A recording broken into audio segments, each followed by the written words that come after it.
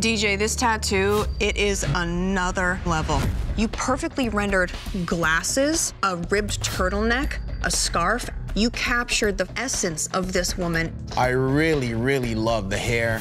You could still see the eyes through the glasses underneath this filter. And somehow you captured it. The scarf is a really nice frame for that face. To me, this tattoo is badass. You killed it. For the next elimination tattoo, you'll be creating a portrait on your human canvas. Man, I can't believe we're doing portraits. I did not see portrait coming. Portraits are very personal tattoos. They allow no room for mistakes. Your shading and blending skills must be top notch. A good portrait, I mean, obviously you gotta catch the likeness. You know, it has to look like the person. Everything has to be in the right spot. I'm thrilled because it's what I'm known for. 20 minutes of daydreaming has passed through my head.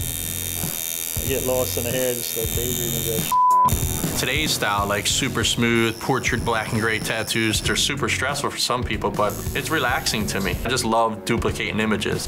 Aside from my canvas passing out, not let me finish it, I'm clearly gonna win this challenge. Shane, of course, gets the perfect canvas. He got the best picture out of all of us. He could have done it in color. Of course, Shane would pick black and gray. Heaven forbid he have to whip out some colors. Shane? Going well. Skin's pretty much how I expected it to be for this spot. An extra two hours would be awesome. Then I can relax, you know what I mean? Shane's done nothing but black and gray. I haven't been able to just sit and do cartoons and colors the entire time, and that's exactly what Shane has done. If Shane stuck with the original picture and made the portrait color, I think it would have taken on a whole new life. Instead, he took the easy way out and did black and gray. Being Ink Master takes a lot more than just following a comfortable route. Time's up, that's it. Put your machines down. No more ink. That is amazing, bro. I'm winning it. There's literally like no doubt in my mind that I'm gonna win this thing. Welcome to tonight's elimination. This week, we've been testing your portrait skills. We'll be looking at your shading, detail, and how much your tattoo looks like the picture. Shane, you're up first. Out of all the portraits available, you chose the child. I didn't want you to think I was taking easy way out. I felt like this one would shine the most. Their smile and the glitter in her eyes and everything. The hair was pretty crazy to take on. I've done a lot of child portraits myself, and ones with teeth are without a doubt the most difficult of children's portraits to do. It really uh, looks like the photograph. Really nice, accurate job. In the photo where it was not a lot of contrast, not a lot of definition to show the nose, you picked out just the right amount of subtleness and grace, those little soft details that pull it together. In the photograph, the light that's in her eyes is the reflection of the flash. Flash, yeah. And so you had to move that and use your white in a different spot to really make it appear lifelike. Awesome. I'm glad you noticed. Amazing touch. Yeah, man. You really pull the likeness together. You definitely have the less is more approach. You did the name and the portrait. Nothing more needed. Great job, man. Thank you. Shane, you had the best tattoo of the night. Thank you.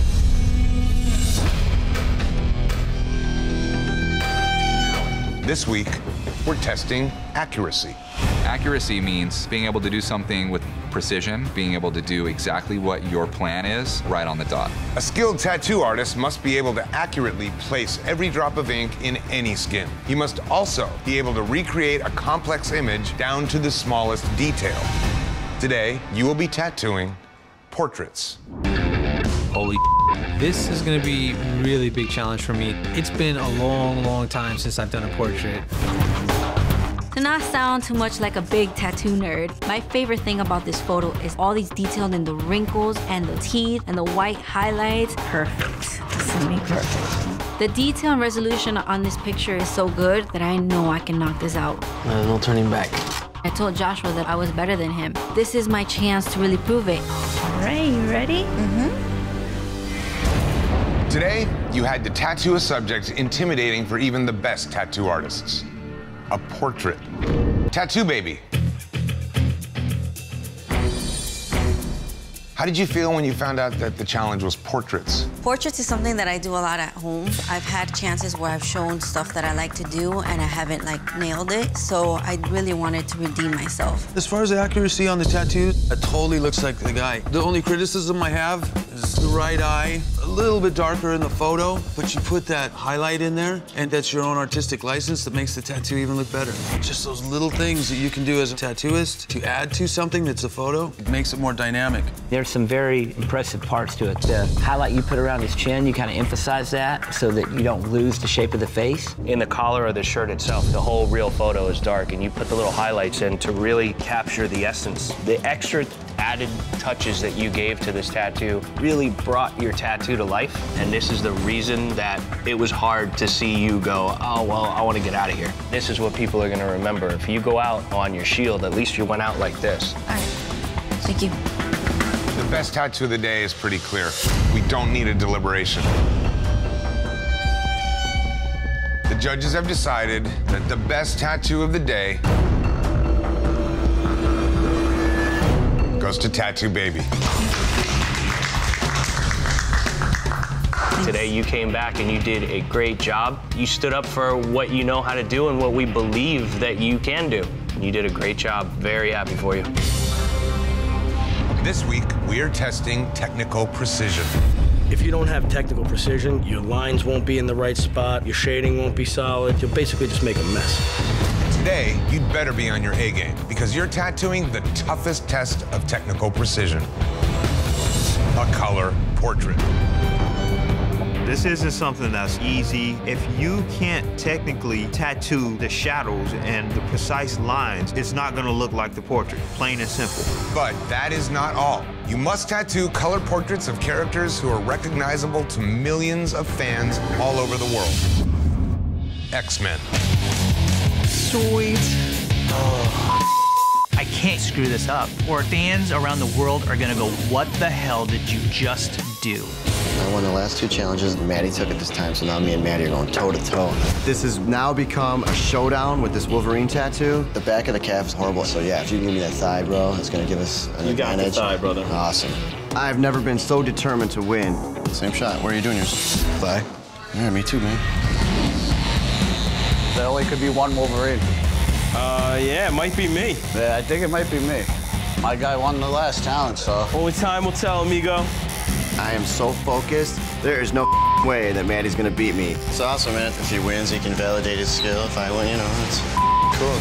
That's it. Machines down, no more ink. Wow, that is awesome. Today, we ask you to use technical precision to create an X-Men color portrait. Scott, You stuck to the structure of the face. You kept the likeness of the character. Not going with the dark background around the hair, I think is a wise choice. This tattoo has a ton of technical precision.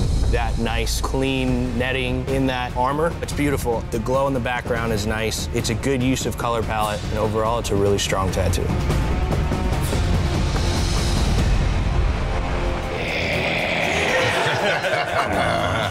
That is awesome. Wow, there's a lot of work gone into that. That is fantastic. We have a winner? We do have a winner. And the winner is Scott.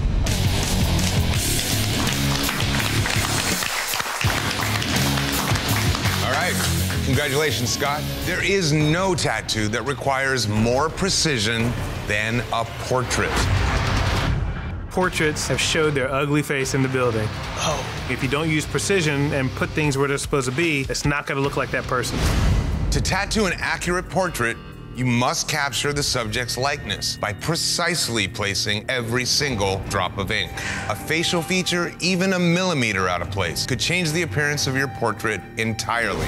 Portraits are some of the most popular tattoos because canvases can have a loved one with them forever.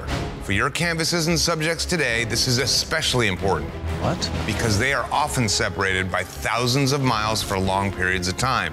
They are all active military. Wow, awesome. And they're all about to be deployed. Oh, man. Serious. Portrait. Man, this is my day. Cruzman, you can throw anything you want at me. This is my style. I've got the win no matter what you give me. I believe I'm the only one doing full color. Full color. Every You're going full color. Wow. 100%. First tap, man, I gotta go all the way, right? That's what I hear. Man, this challenge is about active military guys. They're about to get deployed. I've been there where those kids are gonna go. I can imagine what my dad went through when I got deployed. A lot of people just don't understand what it's like to go do something traumatic. This is my day. Everything about this is all Chris Blinston. I was pretty shocked you got this. I was surprised he gave it to me. I was surprised he chose the one for himself he did. I wasn't the least amount of face. Good point. If you're not a portrait tattooer, then it's the least amount of portrait you have to do. It's a lot of frosting. That's it. Time is up. Machine's down. No more ink. That's sick. Dude, that is so awesome, man. You freaking nailed it, man. My pleasure doing that for you, man. Today, you had to give canvases and their loved ones a way to stay together even when military service keeps them apart by tattooing a portrait. Chris. When Cruzman gave you this canvas, what was your feeling? I can't believe that he handed me the color portrait. And that's like handing me a gold medal. When I look at the tattoo, I love it. Really a beautiful tattoo. Thank you. Today is, uh, you know, a special day with the military guys, and every one of them is going to deploy. I've been there. 20 years ago, my 11-man team was sent to Bosnia as part of a special operations Marine Expeditionary Unit. There was uh, no stores, no way to buy gifts, and so I ended up drawing a lot of portraits and uh, pictures of kids and family members and all that.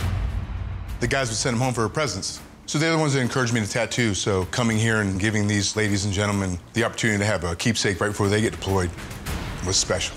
Well, Chris, I think you did an amazing job. It's definitely bulletproof. It is definitely solid. The attention to detail in the clothing and the fabric in the flag set this thing off. And this thing's strong, man.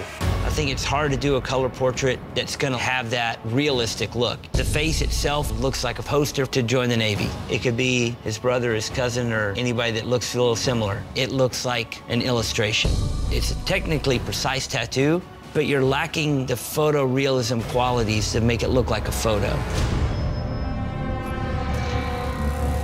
The judges have decided the best tattoo of the day goes to Chris. Congratulations, man. For this elimination tattoo, you must tattoo the ultimate test of accuracy a portrait. Portraits, my Achilles tendon. Oh, sweet. Hell yeah, portrait day. That is my day. I don't see anybody in this house beating me on a portrait challenge. And today, your canvases want portraits of toddlers. Toddler portraits are so much more difficult than normal portraits because the proportions have to be very round and soft. Otherwise, you can age the image and make it look like somebody that it's not.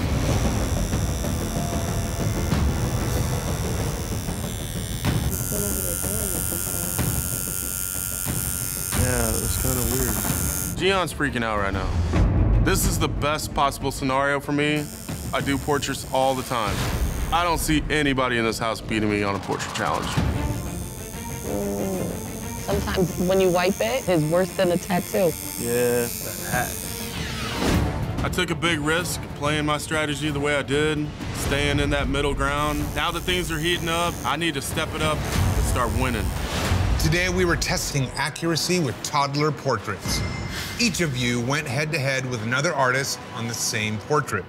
Let's see how you did. Nate, you tattooed the same portrait as Gian. Nate, you captured the likeness. I like the way that you captured the little indentation on the top of the nose and the really subtle highlights in the eyes. And that little glimmer is perfect. I love the way you put a line right on his hand. Normally, a lot of people don't do that and it gets washed out. Accuracy, it hits the mark. Thank you. The judges have decided that the best tattoo of the day goes to Nate. Thank you. Today, you must tattoo traditional illustrative portraits. Ooh. My life. What? I love doing portraits, but what is a traditional illustrative portrait? We're gonna find out. All right, guys, we are looking for a portrait. We're not looking for a realistic approach, but we are looking for traditional illustrative style. Looks like a murder doesn't, and if it doesn't, you lose, and if it does, you're in a great shape. This is gonna be interesting. So how did you know this kid? We're basic training together. Oh, really?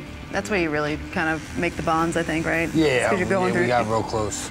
Anytime you do a memorial piece, the expectations are super, super high. I mean, this is his friend. He passed away overseas, and that's heartbreaking. My boyfriend's in the military.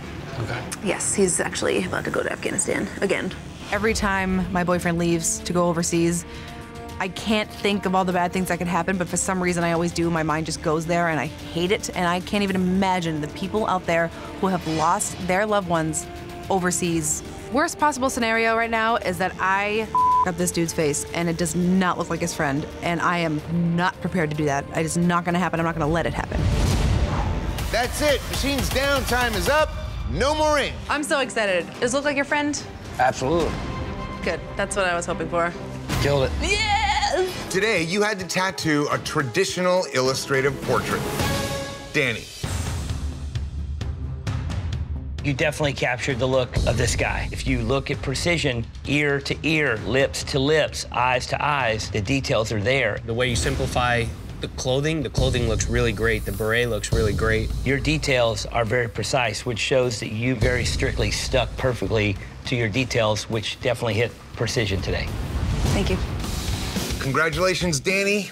The judges have decided that you have the best tattoo of the day. Feeling different than you felt last week, huh? Given that he's a military member, I wanted to make sure that it was represented correctly. So getting this right, it was a big deal, and I just appreciate it that you guys noticed. Today, you must tattoo Here it is, guys. a portrait. It's about time. Finally, this is my time to shine. Of a senior citizen. What? Ooh. Leatherface. That's so much little detail. Senior citizen portraits are difficult because you want to capture the likeness of that person, but you don't want to overdo their wrinkles because you'll make their entire face look leathery and scary. You knew it was coming eventually, right? Mm-hmm. Mm-hmm. Portrait day. Because of the fact that I got to pick the best one, I really have to execute it. Because if I drop the ball and somebody that got a grenade does not, it's embarrassing. Today, you had to tattoo portraits of senior citizens. And you were being tested on precision. Jarrell, you had the advantage. Let's start with you. Overall, you execute a very nice portrait that picks up the nuances of the man. You nail the eyes, you definitely nail the nose, the gray hair, you nail. Everything's very clean and precise. You have areas that transition from dark to light, creating contours. Overall, I think you get a really smooth effect with this portrait. Thank you, guys. Judges, time to determine who had the best tattoo of the day. I'm with Jarrell. Yeah. My vote is for Jarrell. Yeah. So close every time. The judges have decided the best tattoo of the day goes to Jarrell. Thank you, guys. Today, you must tattoo color portraits. Oh, shit. There oh, it is. Damn. Oh, That's right. We are testing precision with Nikko style, color realism. Here we go. Every little facial detail must be precisely and perfectly rendered with solid saturation and smooth color blends, or your canvas will be left with an unrecognizable mess. I'm super pumped on this one. So I'm just kind of getting stuff blocked in right now. Mm-hmm. When then portraits hit a point when you can breathe, you're like, all right, Yeah. that's grandma's face, and then you can just make it cool as shit. I picked this vintage photo of this awesome grandma with orange hair and these big silly glasses. This picture just has a vibe. It's something unique, and that's what I love. What got you into tattooing? I've been doing art since I can remember. Applied at a shop when I was like 17 years old. I wasn't even legally old enough to get a tattoo, and the rest is history. The moment I found tattooing, it changed my whole life. I love creating art for people and really changing other people's lives. Been a wild ride. That's it. Time's up. No more ink. It's perfect. Yeah, it's so good. Yeah, Yeah, okay. thank you Yeah, so yeah, much. Today, you had to tattoo color portraits. Let's see how you did. DJ. What's going on, guys? DJ, this tattoo, it is another level. You perfectly rendered glasses, a ribbed turtleneck, a scarf. You captured the essence of this woman. I really, really love the hair. You could still see the eyes through the glasses underneath this filter. And somehow You captured it. The scarf is a really nice frame for that face. To me, this tattoo is badass. You killed it. Thank you, guys. Judges, it's time to determine the best tattoo of the day. There was one tattoo that absolutely exceeded every expectation I had. DJ's precision on point. He went so far above and beyond and showed us transparency. He showed us shine in the glasses. He rendered a plaid scarf. This tattoo tells such a great story. My vote's for DJ, best tattoo of the day. My vote is for DJ. DJ, you crushed it. The judges have decided the best tattoo of the day goes to DJ. Thank you guys so much. Congratulations, DJ. You are safe from elimination. Warms my heart.